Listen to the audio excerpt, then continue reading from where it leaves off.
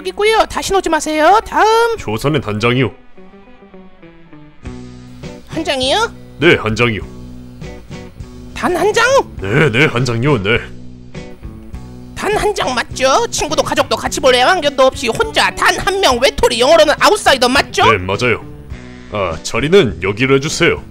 단 한 명은 앉을 수 없고요. 문 옆에 공간이 있으니까 거기서 서서 보세요. 다음 조선역 두장 주시오. 두 장이요. 네, 친구놈이 지금 오고 있거든요.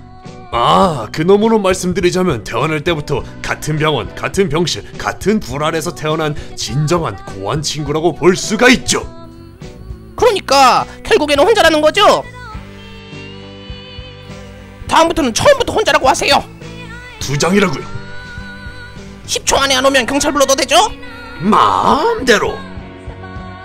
야 친구야 거기 거기서냐 아, 왜 이제 와?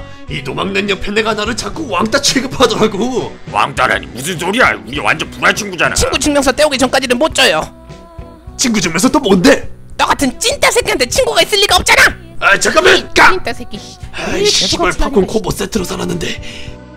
아니 님! 연기가 왜 그렇게 어색하세요 씨발 아니 님 그냥 와서 친한 척만 해주면 된다며요. 아무리 그래도 이건 너무 심하잖아요!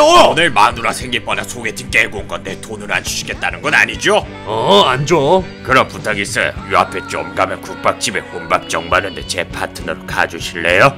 오 이런 천재 같은 새끼! 뭐 드실래요? 난 순대국밥! 난 내장국 요시! 근데 남자친구 있어요?